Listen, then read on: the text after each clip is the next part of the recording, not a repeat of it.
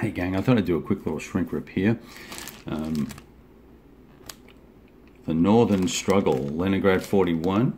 This is a Kickstarter uh, product done, uh, created by Vento Nuovo Games. I did not Kickstarter this. This uh, arrived in the mail today, uh, July 25th. Uh, more as a, I, I don't know why it came. Uh, I was chatting with Emanuele, the owner of the company, and he had asked me if I'd ordered the game, and I'd said, you know, no, I hadn't because I was trying to budget, trying not to be crazy with all my money. And he said, oh my gosh, I got to send you a copy. So uh, I didn't think any more of it. That was a couple of months ago. And a few weeks ago, he sent me an email and said, "Hey, you know, have you got the game? What'd you think of it?" And I said, "Dude, I don't know what you're talking about." And so I think they either resent it or found out where this got stuck in uh, in customs and uh, got it released and got it to me. So here we have the second title. So we had uh, Moscow 41, which I think you've seen my gameplay videos and you've probably seen the Shrink Rip. I enjoyed that game very much. Uh, we've you know now made a looks like a, a, permanent movement to these smaller boxes and the uh, folding maps, which is very very welcome. Uh, fits on the shelf a lot better than uh, the Waterloo title and blocks in the east, etc. Excuse me. And so let's have a look inside. I've not seen anything here. Literally just pulled the shrink off. Um, huh. Looks like someone stickered my Stalin Stalin counter for me. Uh, but the other guys are not count not stickered. Now that would have been nice to have it uh, delivered sticker. That'd be pretty sweet, wouldn't it? Uh, this looks like this might be the Kickstarter uh, full Monty edition. It's got the all the aeroplane. There's aeroplanes here. Um, what does it say? I can't read. It's uh, L41 plus, I guess, you know, extra metal bombers and stuff like that. And there's the supply tokens. Same system as Moscow 41. And it's been a while since I've played it, so I can't really tell you too much about it. But uh, I recall this much straightforward gameplay. It's a block. Obviously, it's a block game.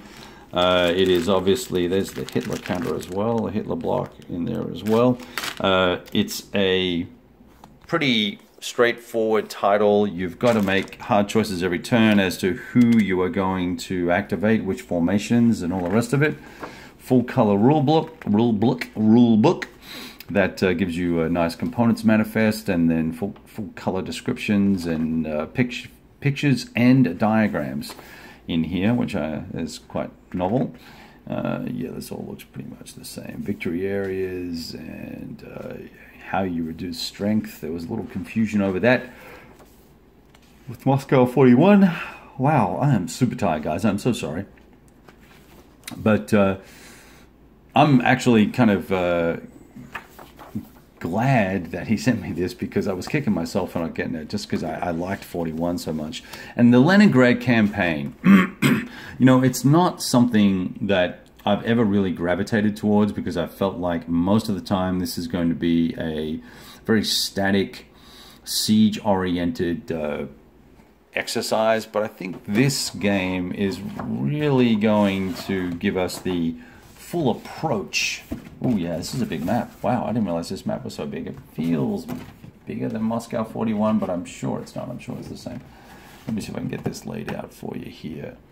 So you'll have to pardon me. I'll hold it up. So let's orient. Here's Leningrad. Lagoda uh, Lake Riga is down here. So this is uh, going to be, looks like it's going to be from 41, early from, from the launch of the conflict. Oh, actually no, because look, this starts out as a uh, as an HQ uh, or a supply center for the Germans. So at some point, if I looked at the rules and read something before we started, I could tell you exactly when it started, but you'll see it in gameplay. Um, is a victory location. You've got the Trail to Murmansk uh, track that uh, is similar to the Moscow 41 game that had the Trail to Leningrad track, and you can join these two games and play Moscow 41, Leningrad 41 together. Novograd, we go all the way across to here's Kalinin here, so just to the north of the Volga and uh, Moscow. and uh, there's Veliki Luki, as well. Another primary area, area that if you've played these games, you will know, played any uh, Eastfront games, you know that they're important locations. This is also a launching point, as are these two areas here. You've got the setup instructions on the map. Gorgeous artwork again. Uh, lots of information imparted on the map for you. Uh, this is going to obviously uh, location number for the area, and that's going to determine your defensive terrain and your movement cost. This is a victory location, major city.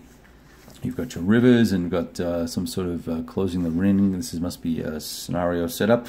Uh, information, beautiful stuff. So uh, we, uh, my stand collapsed on me. Here we go. So interesting uh, title to come out. They Whoops, I got this wrong. How does this go? It's one of the, I'm so map challenged when it comes to folding these things up. And it looks like they were gracious enough to send me the full mounted map as well, which I'm going to leave in the shrink right now. It's identical, it's just fully mounted.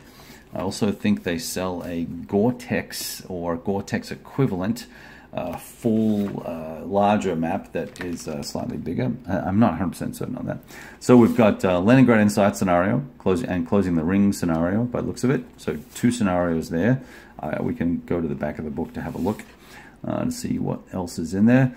Nice charts. There's information on both sides and there's one for each player sequence of play. Very straightforward game, but rich, rich, rich gameplay. I really really like the way these games play. They're thematic and they they generate some narrative. Some crazy things can happen. You've got that fog of war thing going on for you. Uh, there's uh, some nice defensive defensive concepts built in, air war built in, supply built in. All in a block game. You know who said block games had to be you know kind of dumbed down and uh, and uh, basic like uh, some of the you know other block game manufacturers. I nearly said their name. That would have been bad. Uh, so we're not going to do that. We won't be disparaging because we're just a happy, clappy little video blogger guy. Uh, so there's so there's that. You know, one thing I don't see actually, which is kind of funny. I must have missed it. Is the sticker sheet? Is it here? I think they might have missed that. Well, that would kind of suck, wouldn't it? They'll have to mail it out to me separately. Yep unless it's in the in the rule book. Uh, looks like I'm, I'm, I'm short a sticker, a stickering. Uh, maybe they started stickering the game and said, "The hell with it, he can do it himself." Who knows? All right, well we'll see what happens. So there's a little, quick little look at the game. We'll get this to the table at some point in the near future. I've played a lot of East Front games recently. I've got one more on the table, so it's going to be a while before we get this. Probably be around uh, the December timeframe before we, we, we touch this one. I'm eagerly awaiting Borodino, uh, which is about to ship very soon. That is uh, another game that I'm excited about coming from this organization. And they also have a new title coming out, new system, uh, which will be focused on Stalingrad. Uh, and that will be a, a fascinating uh, system as well. I'm looking forward to reading the rules and seeing the finished product on that. So look out for that Kickstarter as well. All right, guys, talk to you soon, and uh, thanks for tuning in. Bye.